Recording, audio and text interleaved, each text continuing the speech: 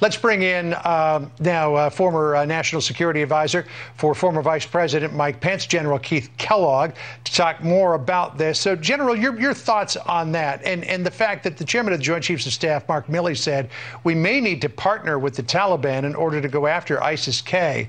I mean, I assume that this would be a case of the enemy of my enemy is my friend. Yeah. Yeah, John, John, thanks for having me, uh, to you and Sandra there.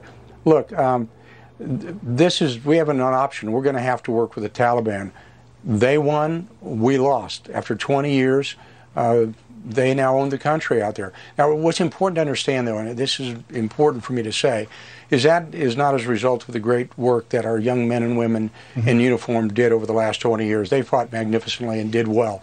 These are uh, strategic level decisions, decisions from the White House by the commander in chief. And yesterday, and the day before, and weeks before that, he stood in front of the American people. And John, he said that all his decisions were unanimous.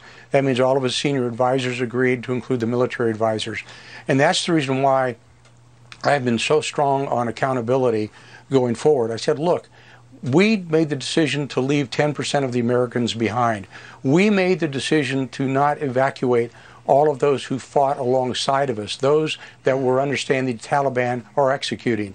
And we made that call. We made the call uh, to not expand the perimeter um, just a few weeks ago when we got on the ground there, even though we found out later we were in, uh, talking with the Taliban, which resulted in 13 great Americans being killed, the mm-hmm. largest uh, loss of life in Afghanistan since 2011. So there needs to be some accountability at the senior levels of how we got into this position. And now that the Taliban runs the country, we haven't got much of an option. I mean, they yeah. own it. Well, we don't. Well, well, let me ask you about that. How, how do you have accountability? Because the one place where you could have accountability would be in the halls of Congress. But Democrats have got no appetite to call hearings into any of this. They, they want to move uh, past it as quickly as possible. So, how do you hold people accountable?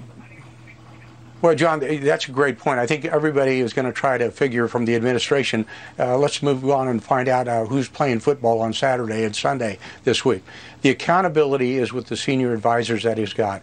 And he's not going to fire anybody, and nobody's going to resign, and that's unfortunate. But some of them should leave.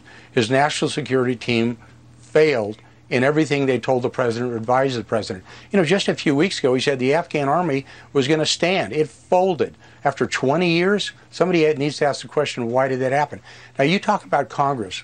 There's another thing they should do because they're marking up the uh, National Defense Authorization Act right now, mm-hmm. and they ought to have some, a blue ribbon commission.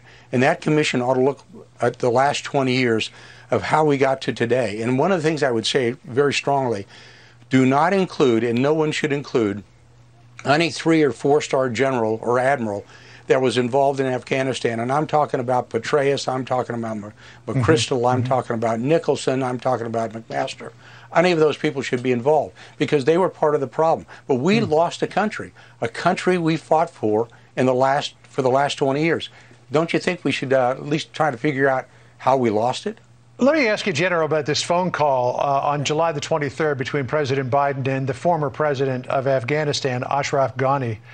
Uh, I guess you could call yeah. him Ghani because he was one of the first to leave, in which the president said, Look, we got to change perceptions yeah. here, whether it's true or not. And if you want U.S. military uh, support to continue, you got to come up with a different plan. Uh, you were in the White House during the whole Vladimir Zelensky controversy and the impeachment yep. process that followed. Your thoughts on this phone call and the conversation that the president had with Ghani? Yeah, look, this is a great. It's a great question, John. And I was in I was in the situation room when that call was actually being made and heard the conversation. And I later said I didn't think that was a, a, a necessarily bad call. Now we have a president telling uh, a, a, former president of a country with Ghani to try to change the perception, and he goes out in front of the American people and tells them everything's fine. In other words, he lied to the American people. If that's not a, a serious breach of faith with the American people, I don't know what is. I don't think you even compare the two. I think what he did with Ghani, excuse me, what he did with Ghani, and what he t- told the American people is of serious consequences, and they need to look at that. But John, they won't but I think they should. Yeah. I think you're right on the, uh, the, the, first point there that uh, maybe they should look at it, but they likely won't. Uh, General Keith Kellogg, always a pleasure. Thanks for joining us today. Yeah.